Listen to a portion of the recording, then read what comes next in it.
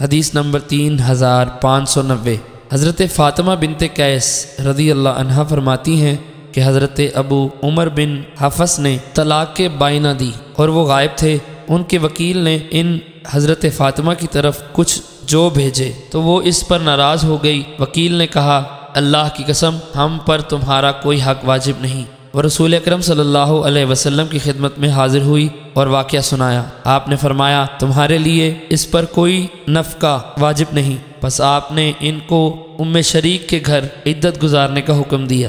پھر فرمایا، اس خاتون کے ہاں میرے اصحاب بکثرت جمع ہوتے ہیں، تو حضرت ابن ام مکتوم کے ہاں عدت گزارو۔ وہ نابینا ہیں، ان کے ہاں تم کپڑے اتار سکتی ہو، جب تمہاری عدت پوری ہو تو مجھے بتا دینا۔ حضرت فاطمہ فرماتی ہیں، جب میری عدت ختم ہو گئی تو میں نے رسول اکرم صلی اللہ علیہ وسلم کی خدمت میں عرض کیا کہ حضرت معاویہ بن سفیان اور حضرت ابو جہم رضی اللہ عنہ نے مجھے پیغام نکاح بھیجا ہے۔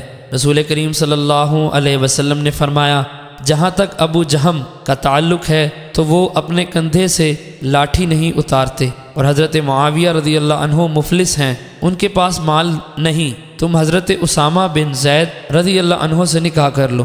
میں نے اس بات کو ناپسند کیا، آپ نے پھر فرمایا، حضرت اسامہ سے نکاح کرو، پس میں نے ان سے نکاح کر لیا۔